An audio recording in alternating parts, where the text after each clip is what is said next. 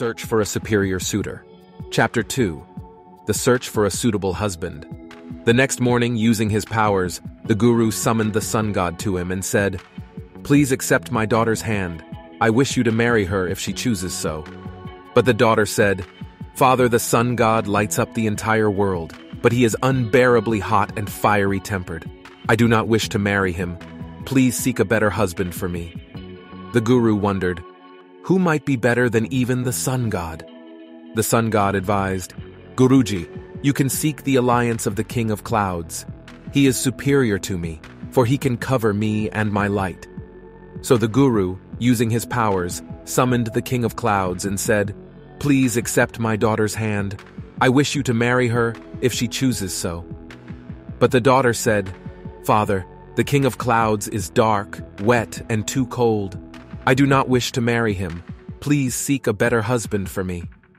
The guru wondered, who might be better than even the king of clouds? The king of clouds advised, Guruji, you can seek the alliance of the Lord of Winds. He is superior to me, for he can blow me away. So the guru, using his powers, summoned the Lord of Winds and said, Please accept my daughter's hand. I wish you to marry her, if she chooses so. But the daughter said, Father, the Lord of Winds is too fast and restless. He keeps changing his direction. I do not wish to marry him.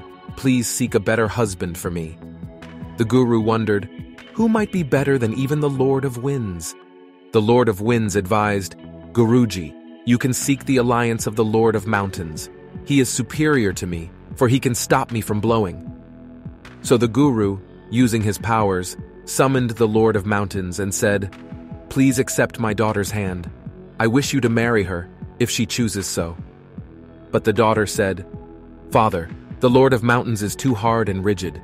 He is immovable. I do not wish to marry him. Please seek a better husband for me. The guru wondered, who might be better than even the Lord of Mountains?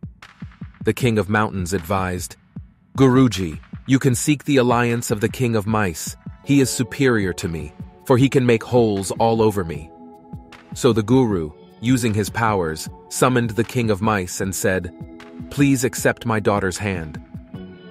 I wish you to marry her, if she chooses so. When the daughter met the king of mice, she was delighted and shyly agreed to the marriage. The guru transformed his daughter into a beautiful female mouse for her to perform all household duties of her clan. Thus, the guru's daughter was married. Destiny is that fate and destiny cannot be changed or altered, but one can choose how to respond to it.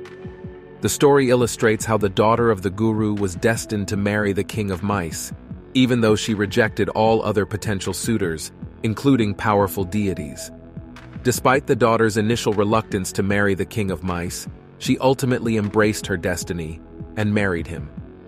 This story reminds us that while we may have some control over our lives and the choices we make, there are certain things that are predetermined and out of our control. However, how we react and respond to these predetermined events is entirely up to us. The daughter in the story could have rejected her fate and refused to marry the king of mice, but instead, she accepted her destiny and found happiness. This is Wonderful Words of Life Motivation. Thanks for watching.